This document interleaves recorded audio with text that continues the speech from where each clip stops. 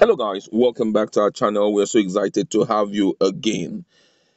We have about three days or four days to go to for the gubernatorial election in Edo State to take place. And right now, all the political parties who have candidate for that election are crossing their T's and dotting their I's so that they can come out victorious at the end of the day. And APC is not left out. Don't forget that Ize Iyamu is uh, going for that position on the platform of uh, All Progressive Congress APC, and the incumbent governor Adam, uh, uh, Godwin is uh, uh, the one representing PDP in the forthcoming election. And right now, just to see how um, APC can carry the day on the 19th of September, with the national leader of APC, Asiwaju Bola has decided to take a swipe at um the person of Godwin Obaseki, and he has released some very strong statement against him.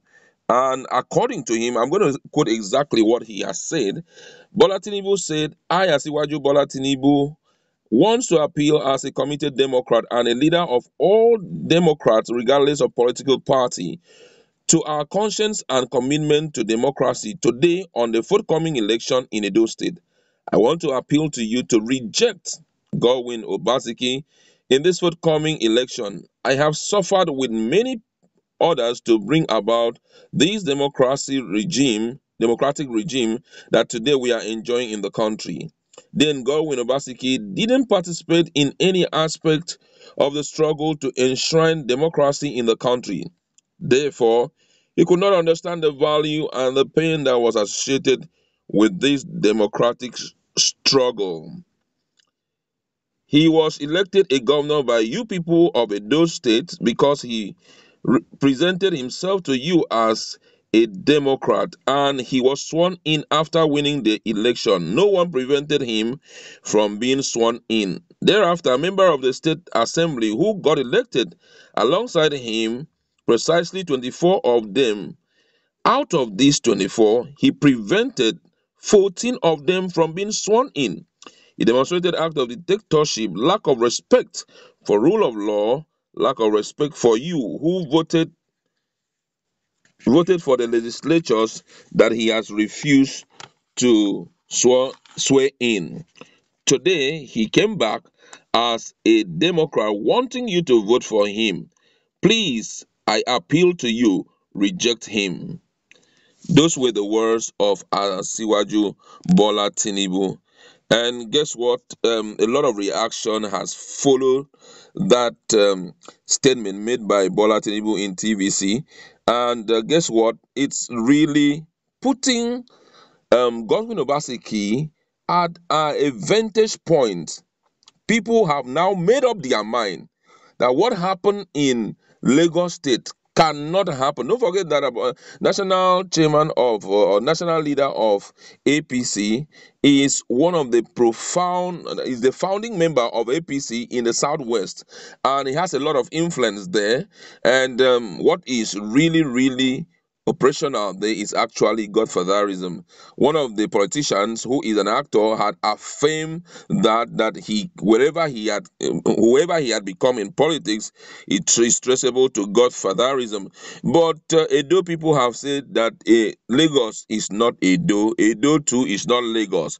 For that reason, they cannot allow anything like godfatherism to strive in Edo state.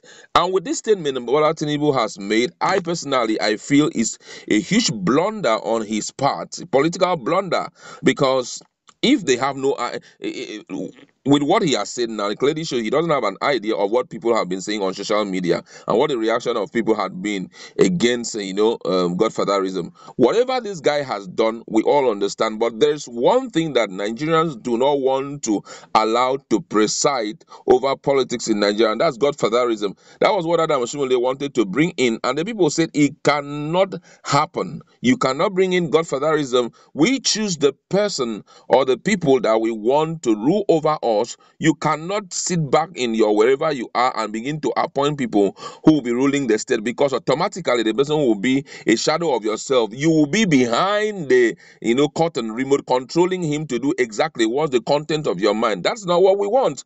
We want people who can come in and change the story of our country, uh, of country and also of Edo State.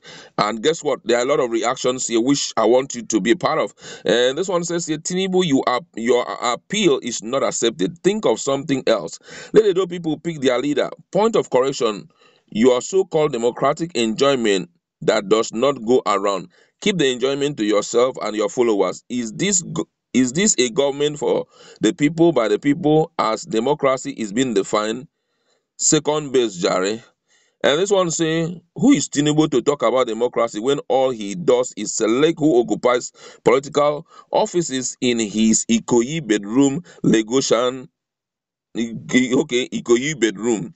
Lagosians should be ashamed of themselves for allowing this man and his cohort determine their choices democratically. Obaseki refusal to be a puppet to the political kidnappers in Edo State is the reason for the anger. This one said here, you say we are enjoying this regime.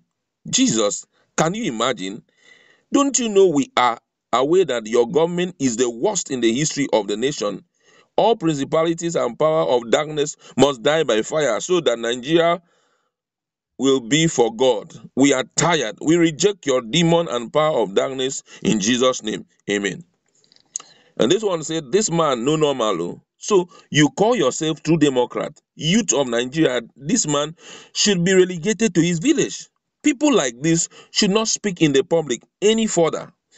Another one here say, I stand with Godwin Obaseki. Victory is sure by the grace of God. Come Saturday. Edo people, Edo State is not Lagos State, where a very vibrant and people-oriented governor in the person of Governor Akinwumi Ambode was removed unjustly. God bless Edo State and Godwin Obaseki. Come Saturday. Bakam. And this one said, Who do you think you are to dictate for Edo people? You guys are making it more clear that it's personal interest that made you all to gang up against Obaseki. Same way you frustrated a working governor Ambode, the developer, replace him with your puppet and put the entire Lagos state in reverse gear. Bakam. Now one here says, it's only in Nigeria somebody like Tinubu will call himself a leader of Democrat. I pity Nigeria, my country. You think you can use your boy Oshiomhole to play that kind of dirty politics you played in Lagos? Edo is not Lagos. We will give all our votes for Obaseki. PDP power to the people. Four plus four for Obaseki. Mm. Another one here says Obaseki didn't carry the politicians along, and it is very painful to them. We know your plight, sir, but it's good for us, the Edo masses, moving forward. Obaseki is not Ambode, and Edo is not Lagos, sir. Thanks, but no thanks we go. We are good as Governor Obaseki is our choice. You can imagine everybody supporting Obaseki. And this one says Obaseki brought this upon himself. Why dragging Lagos matter to Edo State? The same Lagos governor Obaseki stayed for so many years. I hope he's preparing to go to another state after he lose the election on Saturday because we are not going to welcome him back to the state which he called Godfather State. That one is coming with a different opinion. And this one say, if after after this rejection online and on ground and the APC win in Edo State, I urge all good citizens of Edo State to come out, reject the result, and protect the future of their great state. Great one there.